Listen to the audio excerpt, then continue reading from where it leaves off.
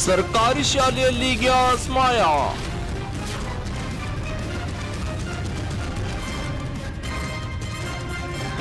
ಅಡುಗೆ ಸಹಾಯಕಿಯ ಕಣ್ಣೀರು ಕೇಳದ ಸಿಬ್ಬಂದಿ ವರ್ಗ.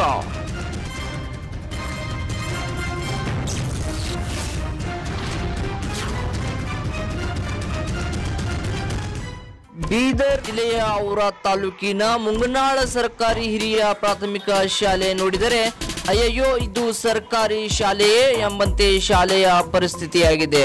ಶಾಲೆಯ ಕೊಠಡಿ ನೋಡಿದರೆ ಒಳಗೆ ಸರಾಯಿ ಬಾಟಲ್ಗಳು ಒಡೆದು ಬಿದ್ದಿದ್ದು ಗೋವಾ ಸಿಗರೆಟ್ಗಳ ಚರಂಡಿಯಿಂದ ಶಾಲೆಯ ಕೊಠಡಿ ತುಂಬಿದೆ.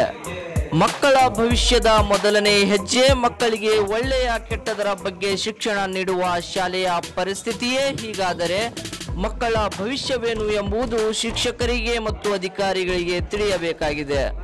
ಅದಲ್ಲದೆ ಅಡುಗೆ ಕೋಣೆಯಲ್ಲಿ ಗ್ಯಾಸ್ ಇಲ್ಲದೆ ಅಡುಗೆ ಸಹಾಯಕ್ಕೆ ಕಣ್ಣೀರು ಹಾಕುತ್ತಿರುವ ದೃಶ್ಯ ನೀವು ನಮ್ಮ ವರದಿಯಲ್ಲಿ ವೀಕ್ಷಿಸಬಹುದು.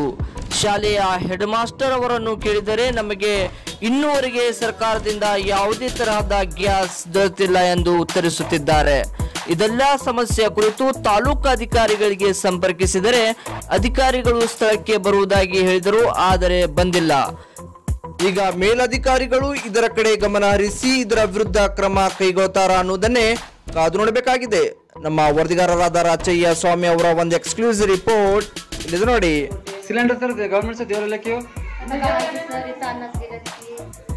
आता या चुल्यावरच करतो हो मग आता किती वाजता सर डोळे गेल्यात दूध करायला सकाळी करून करून हा, डोळे गेल्यात सर डोळे निवडच गेल्यात ते किचन करून हा.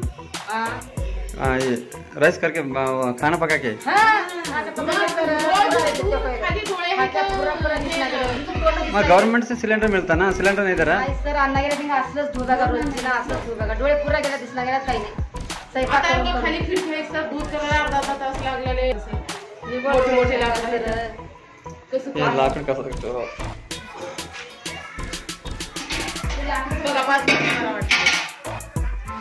press the bell icon on the YouTube app and never miss another update.